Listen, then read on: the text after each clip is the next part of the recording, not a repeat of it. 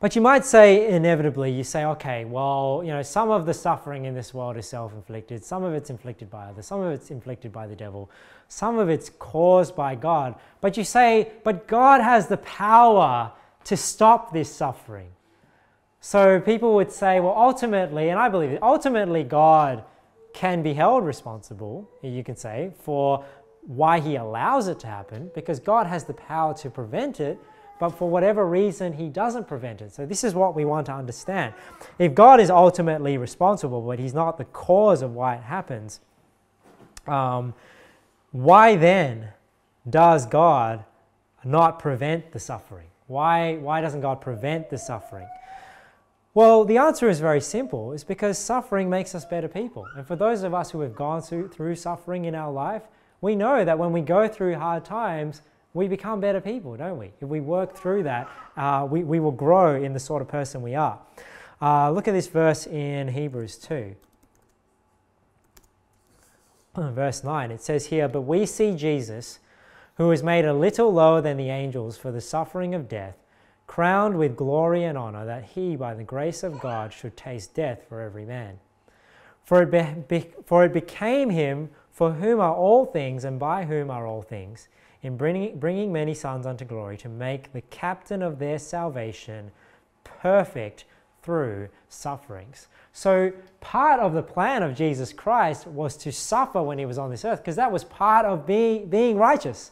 Because remember, Christ had to be our righteousness, he had to be perfect. Part of him becoming perfect in that sense was he had to go through the suffering, because you know, he grew in knowledge, he grew in grace.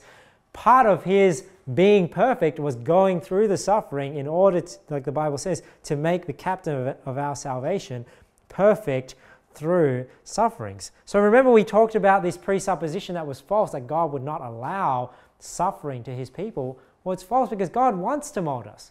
He wants to make us into the image of Jesus Christ. So that's why He allows suffering in our lives because He wants to teach people. He wants people to mold. In His, in his infinite wisdom, He knows the best thing for us, and sometimes He allows things to happen um, because we're going to grow for it. You know, an illustration would be like as parents. You know, sometimes as parents, we see our kids doing things that are, uh, are not safe or you know they might be hurt from it but you allow them to do it right? You allow your toddler to stand up under a table and to hit their head. I don't know if you guys do i do. Like if i see my toddler underneath the table and i know they're about to hit their head i just let them hit their head. Because they'll hit their head it's not going to kill them but they'll learn that that pain now they know next time when they're underneath the table not to stand up so quickly because they're going to hit their head and these kids are smart about that you know they can climb on things and they they, they can do it safely because we let them when they were young climb on the couch, climb on the chairs, you know, hurt themselves because it makes them grow. It makes them know, you know, where things are. Because if you're constantly modelly coddling your kids and not letting them hurt themselves, keep protecting them, that's what they're going to expect. So when they go out and play with the kids, they'll just run and fall over and hurt themselves and do even more damage if you don't let them go through that suffering and you don't let them uh, experience some of that pain to help them to learn. And you know, there are so many uh, positive outcomes from suffering. And let's just uh, run through a couple of these real quick. Um,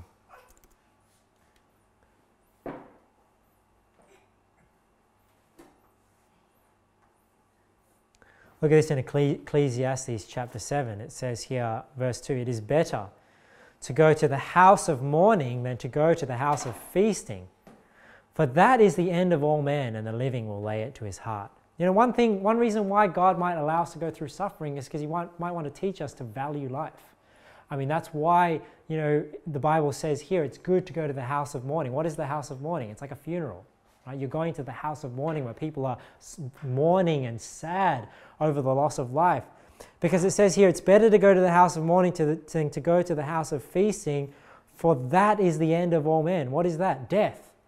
Death is the end of all men. And look, and the living will lay it to his heart. The living will see death and they will start to think, what is my life about? And isn't that what happens? When somebody passes away in your life, doesn't it make you reflect and think, what am I doing with my life? Because you know, one day I'm going to be in that casket, one day I'm going to be cremated or whatever. I'm going to be this, you know, container of ashes. Um, it's so expensive these days to get buried. That's why so many people are cremating. Uh, I had no idea how much funerals costed until I started going to a few of them. But you know, you might want to learn the value of life. I mean, when we think about Job, is he, Job said, When he hath tried me, I shall come forth as gold. So, part of the reason why God will let us go through suffering is He might want us to grow in our character because He knows when we go through that trial, we're going to come forth as gold. Um, I won't turn to all these passages, but you know, suffering in our life might cause us to look forward to the resurrection. You know, we go through this pain and this suffering in our body. Remember, Paul said, Who shall deliver me from the body of this death? Uh, the, the Bible talks about in Romans 8 about the groaning and travailing of the creation, and we wait for wit, to wit the adoption, uh, the redemption of our body. So it might make us look forward to the resurrection.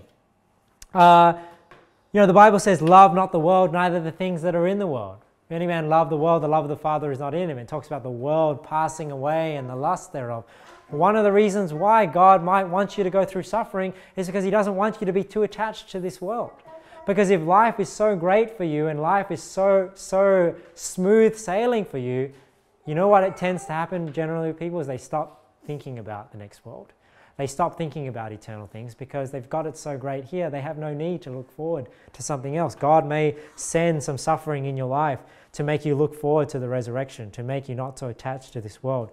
Our God allows you to go through suffering because He wants you to be conformed to the image of Jesus Christ. We already talked about this because Jesus was made perfect through suffering. God wants you to go through suffering too to help you to grow and to be conformable unto His death, as we read in Philippians. But a few other quick examples of, you know, how suffering can be a positive outcome for you. You, know, you might have an undesired outcome to teach you patience. You know, you, you're working hard for something and you don't get it because God wants to teach you some patience, and you have to keep working hard at it. Um, maybe a broken promise, right? Somebody fails you, somebody breaks their promise to you, maybe a failed marriage to, to help you to trust God. Because maybe you were trusting man, that's where your joy was. And then when you lost that joy, it made you realize, hey, wait a second, I'm not putting my trust on God because God has not failed me. God uh, will never fail me, He'll never leave thee nor forsake me. Uh, what about a disappointment to teach you how to love unconditionally? Because maybe in your life you only love people that love you, but then you're disappointed and God is trying to teach you, hey, you still need to love this person even though they've failed you. Um, to teach you how to love unconditionally. Uh, what about a mistake to teach you how to do it correctly? A failure to teach you how to succeed? You know, what about an uncontrollable situation to teach you to pray? You know, we don't pray, but then God might send something that you have no control over. And then that brings you to your knees and think, oh, please, God, like, do this for me. How many times has that uh, happened in my life where God has brought me to my knees, uh, a situation that I couldn't control? Um, what about a failure, right? To teach you consistency, to be consistent in season and out of season. You know, a loss to teach you priorities. Um, you know, a trial he might send a trial in your life to teach you how to comfort others that go through that same trial, right? Um, and you know, what about the unbeliever? Because you know, we're talking about believers and bad things happening to believers, but you know, this the same reasons can apply of why God allows bad things to happen to unbelievers because He wants to wake them up. You know, just last week, me and Han were talking to this uh, this lady, and she was talking about, oh, you know, oh, if God is real, why did He allow this to happen to my niece and all these sort of things? And we had this long conversation about all this stuff, and this is why I was thinking about this stuff this week and thought I'd preach on it. You know, we're talking about all these reasons about, you know, some things are not always caused by God, but then my short answer to her was always, you know, well, God allows you to go through suffering because it's going to make you a better person. Said to her, you know, haven't you gone through some hard times and you've become a better person because of that? She's like, yeah. But you know, the funny thing was, at the end of that conversation, I don't know if you remember, Juan, at the end of that conversation, we were sort of saying, well, hey, well, I hope you think about this stuff. Do you, do you ever think about this stuff? Think about God? And she's like, oh, you know, she's like, you know what? No, I don't, I don't have time for God. I don't want to think about God. And, you know, she's just basically saying, oh, you know, I don't want, I don't want anything to do with God. I don't really think about him. And I just swung it back on her because I was just thinking, well, you know, you're the one asking why God allows suffering to happen in your life. And I was saying to her, well, maybe this is the reason why God has allowed these things to happen in your life, because you have this attitude of not caring about God, not, not, not even thinking about God. Maybe this is the reason why God allowed you, you know, the, your niece to experience that and your family to go through these things, because it made you wonder about God, didn't it? Because it made, made her think, well, if there's a God out there, why is he allowing these things? Well, it, it, it, causes people to seek answers, answers. But I just think it's, it's, what's the word? Is it ironic that people are asking, you know, why does God allow all these things? And yet the reason why he's allowing it is not waking her up to the fact that this is why he has allowed it.